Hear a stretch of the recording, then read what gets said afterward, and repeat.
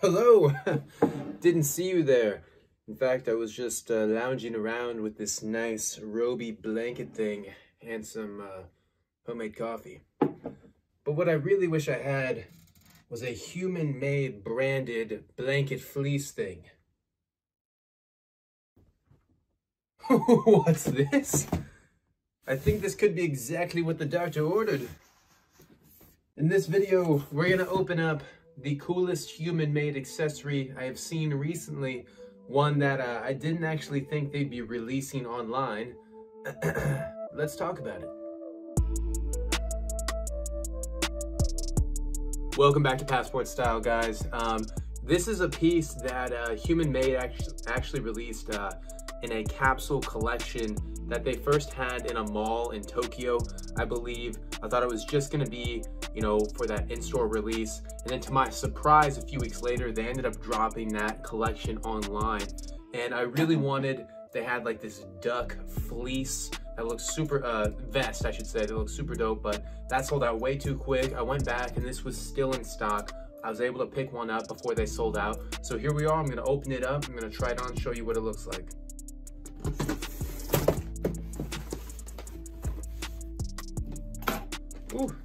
Right, classic uh, human-made little, uh, what do you call this? What do you call this? Folder?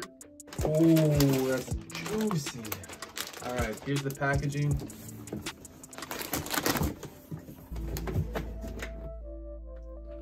Wow, this is thick. All right, it says beige. It was 9,800 yen plus tax. It's like, I don't know, 90 bucks plus tax. The funniest thing about this checkout was that shipping was straight up like $14 or $15 from Tokyo, which was weird because uh, shipping for the uh, the uh, fleece that Rave Pullover Cactus Plant Flea Market collab was like $50. So, very. Oh, yes, let's get it.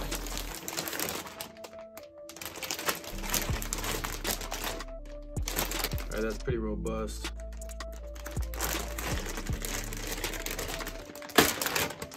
That was satisfying.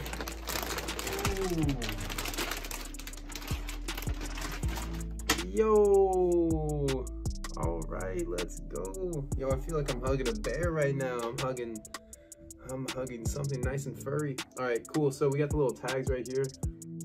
Um, they're stickers, so you can take these off.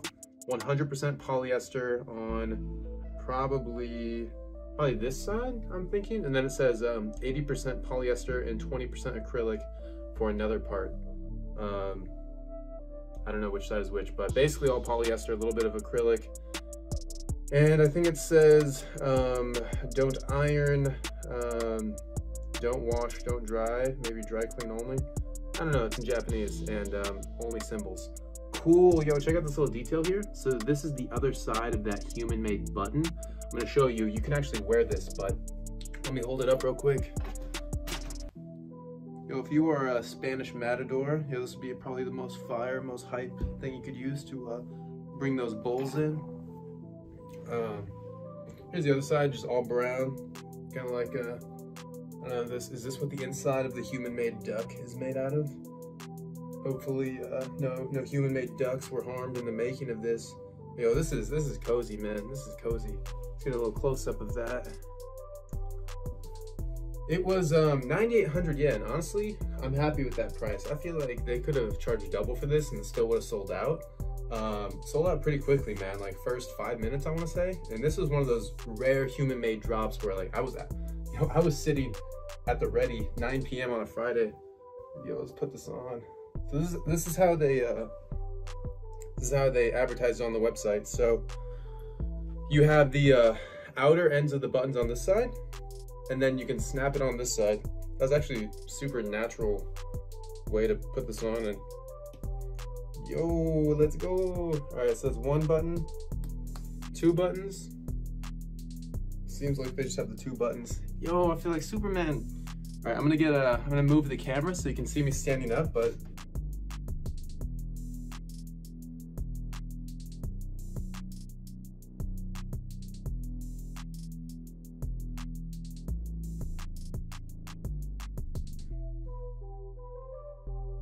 I think I'm, I can see myself working like this the rest of the day.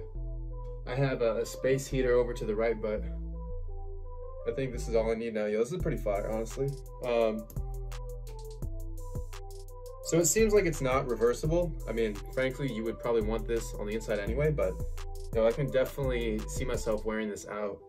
And um, you know, as part of this collection, I, like my vibe that I was getting from it was I took like the Patagonia kind of logo, like that mountain ridge kind of look, then just put human made colors on it. You got like, you know, this, what do you call this? Uh, more of an, a royal blue indigo, cyan, back to that. And then there's actually a little line of green on the each side of this yellow because yellow plus blue is green. I just put two and two together there.